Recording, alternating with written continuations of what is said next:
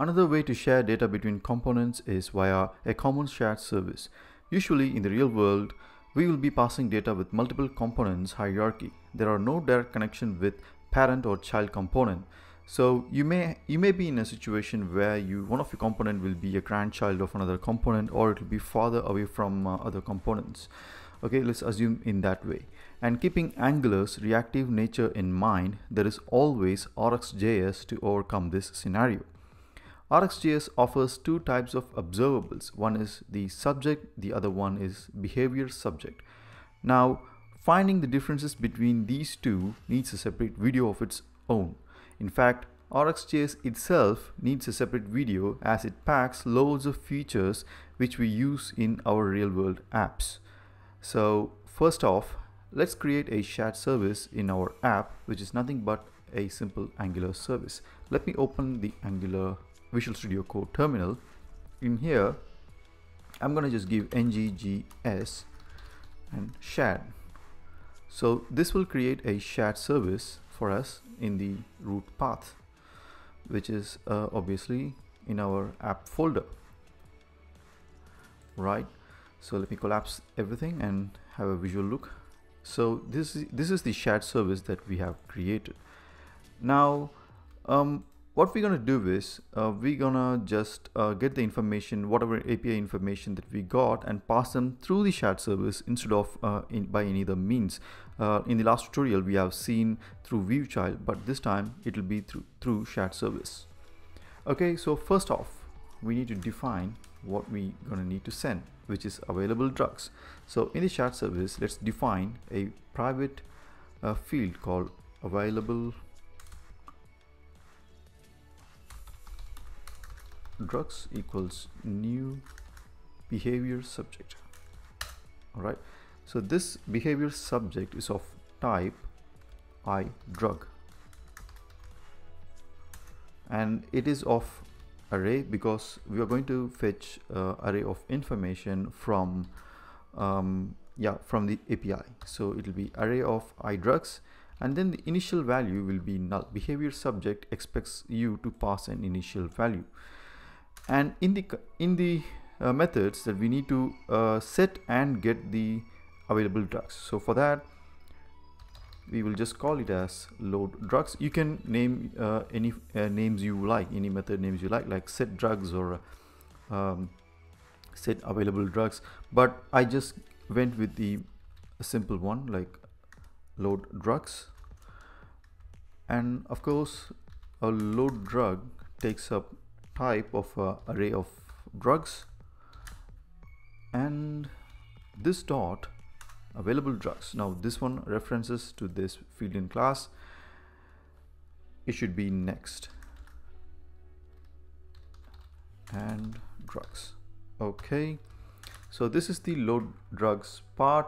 Now we need to have a method. So this this one right this method will be triggered from the drug component. And we need another method um, uh, to to be called by any other component like for example the parent component or even the info component I mean any other component down the component tree okay? It doesn't matter which hierarchy it resides but we need some some way uh, to make this available drugs listen and uh, make changes when there is a change happened in this part okay?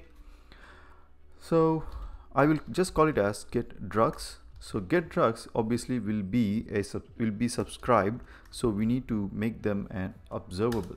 So in RxJS you will be noticing too much of these keywords like observable and subscription and things like that behavior subject or subjects. You know reactive JS uh, deals with all these things. These are the fundamental building blocks of uh, React JS this has nothing to do with React JS or uh, React Native you know that that's something different so our observable is of uh, type again it will be of drug i drug and then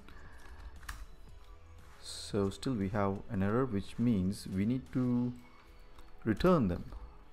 So we need to return the available drugs to whichever component that it is listening to. So this dot available drugs dot as observable. This is kind of best practice because we are not going to expose the the actual property actual field in a class. Instead we are just returning them returning the observable to a to another component.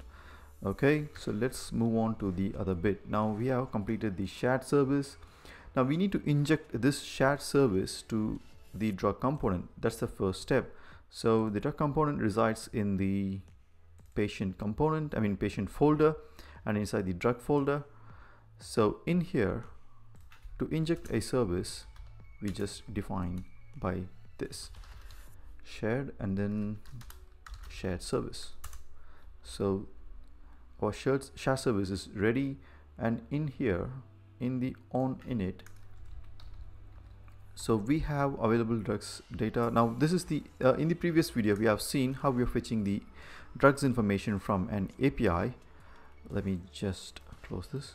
And yeah so the data will contain whatever information that is re returned by the API so it's a response from the API now we have created load drugs right? So we're going to make use of that.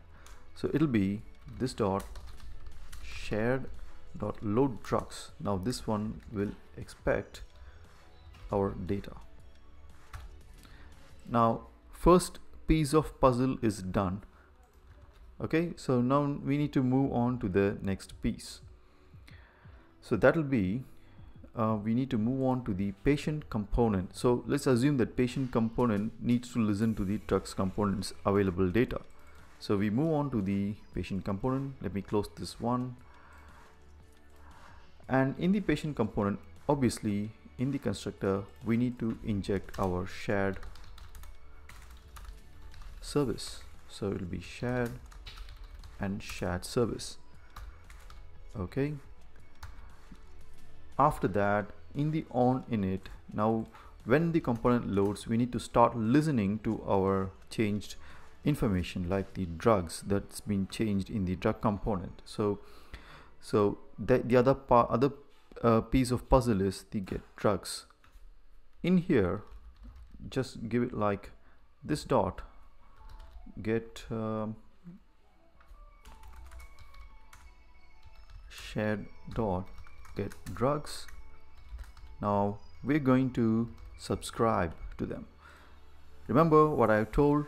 We are returning an observable. So when you're going to return an observable we need to subscribe to them. Okay? So we need to we need to get them uh, get the subscribe information as drugs and then open up the curly braces. Finally we can just emit the output with a console log from shared service. Just for our understanding sake nothing implicit here. In your app you might be using this uh, however you may like but for now we are just going to demonstrate the just the shared part. And there is another available drugs in here. We can just we'll just assume that this available drugs will be made use so the drugs are uh, assigned to this available drugs. Okay? So two pieces in this puzzle have been completed. If you notice we got the information through API and from the API an event is triggered like the load drugs and then uh, whatever that subscription happened it displays over here. Okay now we can simulate the data change and watch uh, watch the changes happening in the parent components. So the parent components, whatever that we are listening here, and you will get the information in the console, like so. So to do that, let's add uh, let's go to the component uh, HTML. Right in the component HTML, we can actually add a button. Right, so we can just drop a button here with a class of btn btn primary just you know could be anything but no and then sorry click off. It could be get drug list. So we are simulating an API we are simulating a refresh kind of you know thing uh, which is actually not a refresh but you know so let's see if we get the button here. Yeah we get the refresh button. So when you click the refresh it, it pings the API and then get the latest information from the from the service right? So get drug list and then let's go here to the drug component get drug list. So this will get our drug. We just need to just copy and paste it over here now I can make a slight uh, modification to this subscription pattern. Okay sorry. Yeah. So uh, we don't actually need this subscription to be set but you know it's a best practice to have a subscription set and then unsubscribe them when you don't when you when you're destroying the component. Okay so that's the general standard rule.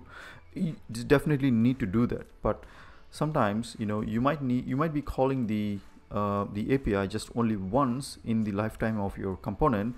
In that case you can introduce something called pipe